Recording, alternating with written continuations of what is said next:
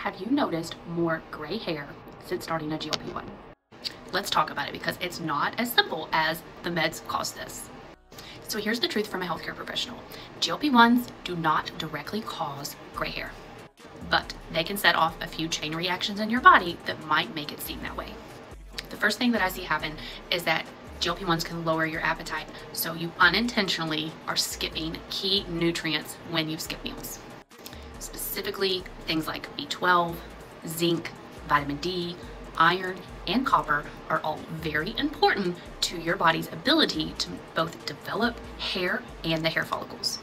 When your body are low on those key nutrients, your hair follicles really struggle to make pigment. And then people really speed up the graying process. Secondly, rapid weight loss can really be a stressful thing to your body. I think a lot of people also already realize that rapid weight loss can set off a chain reaction in which people shed hair. Even though this is temporary, a lot of people don't realize that their grays will really start showing up a lot more frequently when the hair sheds. So it's not that a GLP-1 is really turning your hair gray, it's more than likely a ripple effect. This is seen from nutrient gaps, stress, and rapid changes within the body. So there's actually a really good vitamin supplement that I recommend to a lot of my GLP-1 patients that has all of those things in it and more.